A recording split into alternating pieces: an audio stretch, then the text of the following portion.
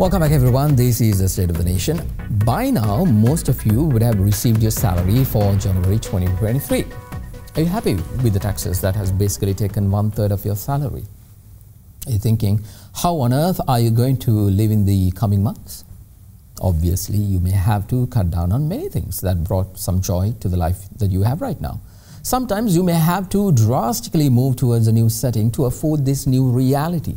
Perhaps you may have to change houses because the current rent is way too much for you to afford after the new taxes. To look at how we got to this debacle with the pay tax, we need to look at the source and follow in our footsteps from that point on.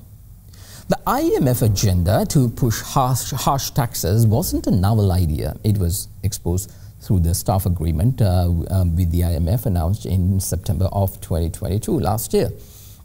Now, before Gotabaya Rajapaksa's tenure, there was another program in the works with the IMF from 2016, pushing for the same policies that are being implemented right now. Remember the period from 2015 to 2019 where you uh, even had to, when you were withdrawing your own money from your own bank account, you were taxed 5 rupees. Remember the best finance minister in Asia? Yes, those were the hearty and handy works of the IMF. Liberals, remember your Lord and Savior, Dr. Harsha De Silva, coming on television to say, well, nothing much we can do, we are taxing more to pay the debt. දෙදස් පහළවේ ජනවාරින්දලා දෙදස් ආසේ මාර්තු මාස වෙනකං මේ රජයට dollar මිලියන හයදස් තුන්සිය හැට එකක් ණය ගන්න වෙලා තියෙන්නේ ආණ්ඩුව එන්න කලින් ගත්ත ණය පියවන්න පමණක්. Well, that was uh, Dr. Harsha De Silva during the time when they were in power, I think, uh, uh from 2015 to 2019 in the UNF government. Now, as a nation, we forget, don't we? In 2023, that, the that is the Sri Lankan way. Since Sri Lanka is considered to be a high-risk country due to the Hail Mary move to default by the hero of the Colombo Twitter liberals, Professor Albus Dumbledore of the central bank, the IMF is positioned better to dictate more intrusive and backward policies, giving Sri Lanka fewer choices to negotiate. The IMF is using its traditional playbook, and we are dancing to its tune at the expense of a general public with no reason to suffer on this scale. The solutions they used during that time resulted in the crippling of the SME sector, reduction of our production, and recorded one of the lowest GDP growth rates ever witnessed in this country in our history. I'm not making this up. This really happened back in the period from 2015 to 2019. Do your own research. Don't believe what I'm saying. Look at what happened when these particular policies, when they were implemented from 2015 to 2019, what happened to this country? Now, all this push, be it the pay tax or the personal income tax, is made to force Sri Lanka into having a budget surplus. However, a budget deficit is not something unique to Sri Lanka alone. It is something that almost all countries worldwide undergo, even America. Now, the current budget deficit in 2022, I, I think, is around $82 billion. Now, if you are one of those people who earn about, let's say, 200,000 a month, you are considered in the middle income category. However, now, after the tax cuts, paying off loans, paying hefty prices at the supermarket, and all other touch points where you might have to engage financially will result in only around 10 to 20,000 remaining as savings for you and your family, or let's say for even for an emergency. Even that number, 10,000 or 20,000, is a high estimate. Mind you, this is after taking massive cuts and perks of what you were used to in that category. In the long run, these taxes will shrink the middle class sector, push most of them to the low income uh, families category, and push more towards welfare. The shrinking of the middle class will result in a multitude of problems, apart from the obvious issue of a reduction in disposable income. The borrowing rates will heighten, and there will be visible frustration with the people, pushing the rise in domestic crime meaning stealing and looting will be something of an option for people who don't have anything. We will see an increase in a lot of petty theft. It's already happening. It'll increase. That is a dangerous situation for everyone who believes in a peaceful society. Again, we don't have to look beyond. Look back at 2022. Well, what do you think? Are you okay with these taxes? Well, this is what some of you had to say. Salaried employees have been taxed from 6 to 36% based on their salaries. Ultimately, their take home salary have been reduced uh, drastically and it will badly affect their standard of living. Personally, I feel because I have elderly and children dependents. So uh, these taxes I can't tolerate. Indirect taxes we pay at the moment we pay a lot of indirect taxes. So that is also we have to pay and direct taxes also presently we have to pay. So I think this is very very unfair. In terms of businesses, we will have to fight really hard for survival. This is in view of the exorbitant taxation and the higher interest rates prevailing in this country. Pay tax imposed on the interest income. We are affected. We are very much affected by the interest income because income groups like us are not entitled for a um, pension scheme nor a provident fund. Therefore, we are very much dependent on the interest income for our retirement.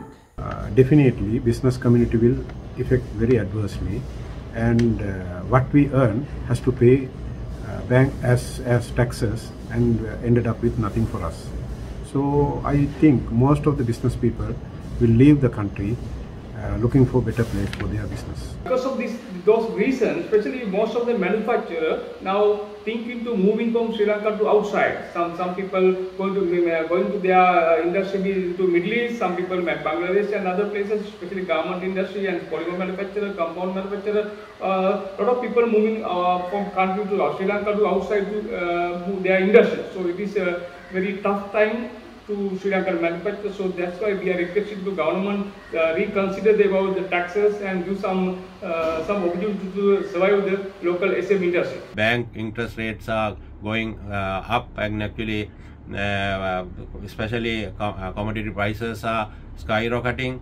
Therefore, actually we have uh, this meager income. Actually, we have to maintain our lifestyle according to the some kind of standard so therefore, actually, I am uh, uh, speaking on behalf of the professionals actually to uh, reduce this uh, tax uh, from the government. We have to educate our children also. That expenditure has also gone up. Uh, due to that, these reasons, we are in very big difficulties. We have to face so many difficulties. Taxation is going to be placed on the very first stage of the uh, the salary. And uh, after all taxation and the loans and all the stuff uh, went on if you get uh, very less amount or uh, the amount which is not going to be sufficient to feed your family it's going to be a huge problem. And uh, I think that will cause many problems among the society and a lot of people I know uh, are thinking about maybe migrating or going abroad. Well, those were some of your views. Now, to understand whether these taxes would help the country or not, earlier I spoke to former Finance Minister Dr. Sarath Amunugama. This is what he said. Listen There is only one way forward, and that is to increase productivity and cut down expenditure.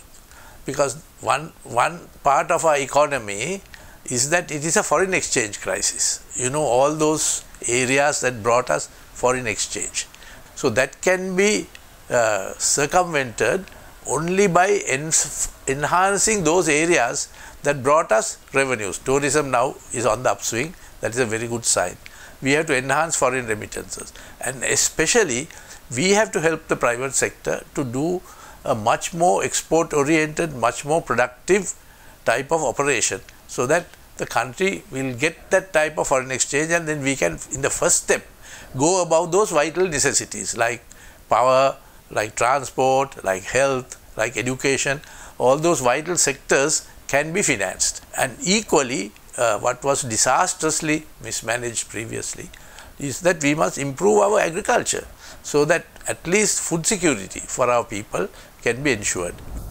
Well, that was uh, Dr. Sarath Amunugama, um, former finance minister, I think during uh, President Mahinda Rajapaksa's time and also uh, beyond. Um, he was uh, very much involved in our economic affairs and that's what he thinks.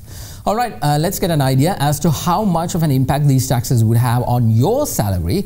And for that, let's uh, go to Danidu Thanumasam standing by at the data board. Good to see you once again, Danidu. it seems like that you're standing in front of a board which says salary LKR 100,000. Is this, are, are, you trying to tell the people that's how much you get? Uh, I think it's better not to comment. I will, I will exercise my right of being silent in this instance uh, since I have to have this conversation with my boss. Uh, but Mahieash, uh, unfortunately, as uh, usual on the data board, uh, I don't think we'll have to share a lot of positive stories and I think I look forward to even you would look forward to when I could come here and share something positive. Now, in today's case, what we are going to focus on, just to swiftly get into the numbers, is a person that receives a salary of 100,000 rupees. Now, this is considered to be the middle income category, or was considered to be the middle income category. I believe you'll explain further about what's going to happen to this middle class, the so-called middle class, in the future with the taxes to come. Now, I think uh, usually, Mahieash, you're not someone who is uh, new to complaints. You'll probably get a complaint on this segment saying the numbers that we have given are conservative estimates because I have gone for the best case scenario, giving the benefit of the doubt for the government or those agencies. And to see with 100,000, what is the capacity for a person in this middle class to survive. Now, we're going to look at a few obvious expenses like the payee tax, which, which will have the reduction coming down to 94,000. Then there will be the EPF, the things that are generally considered. Now, these are calculated based on the basic salary of 100,000, not, not with any other additions, which will then bring it down to 86,000, what you can use as disposable income. Within what we looked at when it comes to rent, I believe a lot of people, I can hear them complaining 20,000 will not be the number, it will be much higher. But let's just say you are living within the outskirts of Colombo, that you are paying a rent of 20,000, bringing your, uh, the total disposable income to 66,000. Food, again, a very conservative estimate of 15,000. The government has uh, put the mark, landmark, the figure between 10,000 to 11,000, but let's just say 15,000. Bringing it down to 51,000, your disposable income.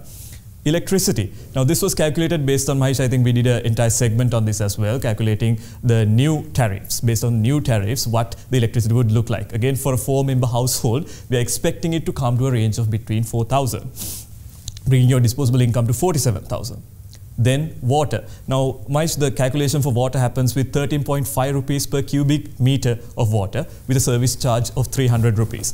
Based on that calculation, we are looking at a rough figure of 15,000, uh, 1,500 or 2,000 rupees, bringing your disposable income to 45,500. Then a one cylinder of gas, again for four people, we are estimating a 12.5 kilogram uh, gas cylinder would be sufficient for one month. So monthly expense of 4,400, bring your disposable income to 41,100. We are expecting this specific category of people to be driving in the car, but expectation of public transport can also bring it roughly at a minimum of 1,600, calculating the minimum bus fares for the outs outskirts of Colombo bringing your disposable income to 33,700. Now, in this case, just taking those specific segments, Mahieash, we see the value remaining at 33,700. But you'll ask me the question, anyone would ask me the question, are these the only things that people spend their money on? I'm leaving out a lot of things. For uh, just to just to include a few, if we take a car lease, for example, this is a car lease for a vehicle that's a, that's 15 lakhs, 1.5 million this is actually a very, very conservative estimate yeah. about how much you have to pay per month, between 50 to 30. For housing loan, if you, there is an expectation, people build a family, they want to build a house. We're expecting a monthly payment of 30,000. This is re removing the 30% charge that you have to pay upfront, the 70% that you pay over, over a certain period of time. Now, the housing loan I actually calculated for 1 million rupees, which is definitely not the case. People go for something higher. Exactly. If you do calculate these two, leaving out entertainment, leaving out savings, leaving out education, leaving out healthcare. What entertainment, right? leaving out all of those aspects, we'll actually have a negative value that will come out. So I think Mahieash, you'll have to discuss this on a political and social aspect, how people are going to survive, how the middle class is going to survive. I know it's a little bit elitist of me to just talk about 100,000 salary because people, the, there's majority of people below that. We saw exactly. that over 500,000 fell below the poverty line due to the COVID measures. So just to look at this demographic that watches our program, mm-hmm. they are finding it difficult. Over to you, Mahieash. Indeed, uh, that is that, that's a very well thought after uh, segment that you just did. Uh, just to give our viewers, even the authorities, I don't know. Uh, recently, I saw a tweet uh, which said that apparently a very elitist category in our society. I don't want to say uh, which which sector apparently they have gone into the courts asking not to collect uh, income tax or pay tax from them right. because I don't know I, I think they get uh, somewhere around 500,000 rupees uh, um, from from um, as a basic salary yeah exactly uh, that's a very comfortable salary and, and yet they went to courts and apparently the courts have said that not to do it or not uh, I mean like there are a lot of things that we really need to think about. It is not about, uh, I don't understand why the government is so hell bent on being IMF worthy, but apparently that's the drive the government is going on. And, and right now you just broke down to showcase what kind of uh, misery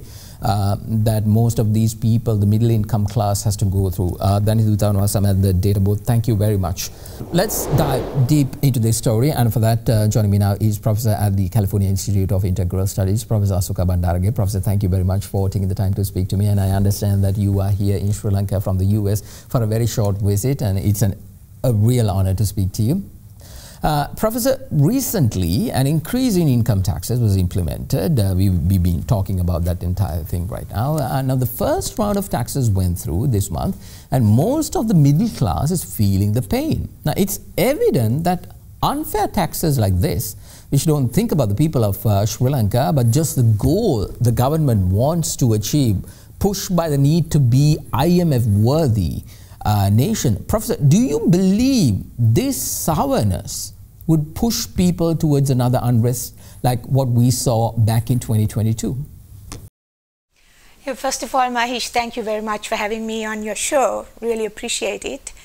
Yes, I think it's hard to predict the future, of course, but we already see people demonstrating and resisting against these new uh, tax policies. So they are likely to intensify if there aren't uh, uh, breaks uh, given to people. Uh, the austerity program is already underway and people are feeling uh, the weight of it and it is the, uh, the lower classes, the middle classes and the poor who have to bear the brunt of this. And I think it's important to have a broader perspective on the differential effects of taxation on different classes of people. And in this regard, we have to remember the great income disparities in Sri Lanka. For example, the World Inequality Database points out that the top 1% in Sri Lanka uh, control 31% uh, of personal wealth, whereas the bottom 50% has only uh, they have access only to about less than 4% of uh, all wealth.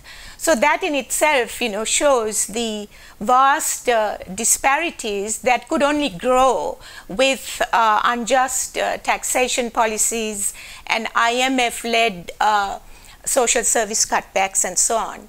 So, uh, you know, it's very commonly known that IMF austerity and restructuring programs have led to so-called IMF riots around the world. So this is not just a phenomenon that is pe peculiar to Sri Lanka. Uh, with so many other countries in debt crises, we are going to see this uh, across the world. Absolutely. Uh, makes a lot of sense. And now, Professor, in the Colombo liberal clown circles, there is this insane delusion being entertained that homegrown solutions for a crisis like this will never work. But it will always be the IMF DAO and Western gods that will solve all problems of Sri Lanka. What do you think about that? Yeah, I think it's a very superficial and a, a misled policy. The minds have, uh, most people, particularly uh, the so called liberal middle classes, have been so deeply conditioned that they cannot think outside of the box, so to speak, of uh, economic fundamentalism, which is the neoliberal economic policies. Um, of privatization, of market led growth. And I think if we are really talking about uh, solutions beyond the IMF bailout, we do have to think of uh, all that money that is uh, sitting outside of the country, the illicit flows of funds, uh, particularly from that top 1% who are also tax evaders and who are responsible for the outflow of illicit uh, funds abroad that are in you know offshore tax havens and banks that needs to be brought back to the country through an amendment of the uh, foreign exchange control act which is you know extremely important because that money that is uh, out there is far greater than the 2.9 percent uh, billion uh, from the uh, estimated from the uh, IMF understood. Professor what kind of advice would you give to Sri Lankans undergoing these severe hardships? Yeah, you know, um, I have a publication coming out on this uh, topic, and what I'm showing is that uh, this is a global uh, uh crisis. Um, there are close to 60 low and middle income countries in debt crisis or near debt crisis. So, so, there is a global discourse on moving away from the neoliberal model that the IMF is pushing to something that is much more sustainable. Uh, a, a greater global discourse, which is unfortunately absent in Sri Lanka, a discourse that calls for um, local self-sufficiency, local agriculture, local production, uh, and moving away from this extreme dependence on imports and exports, which is the legacy of colonialism. Uh, and in this regard, I think, you know, ultimately it calls for a change in thinking, thinking outside of the box, so to speak, and moving towards more collective ways of approaching these issues because what we have now is a model that upholds individualism, uh, extreme privatization and competition. And there is a global discourse on a transition to a more collective, more ecological way of living on the planet and sharing resources.